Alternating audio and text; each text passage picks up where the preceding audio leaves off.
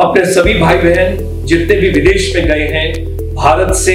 या भारत में रहने वाले हैं और जो शिक्षा से कौशलता से और उद्यमिता से जुड़े हुए हैं उन सभी का हम बहुत हार्दिक अभिनंदन करते हैं क्योंकि international chamber for service industry अपनी 28वीं वर्षगांठ मनाने जा रहा है एनुअल कन्वेंशन 13, 14 और 15 जनवरी 2022 को। आइए हमारे साथ आज हम शिक्षा को और प्रासंगिक बनाएँ आगे लेकर चलें। हम आपका इंतज़ार करेंगे वर्चुअल डिजिटल प्लेटफॉर्म पर YouTube live GS motivator 13, 14 and 15 of January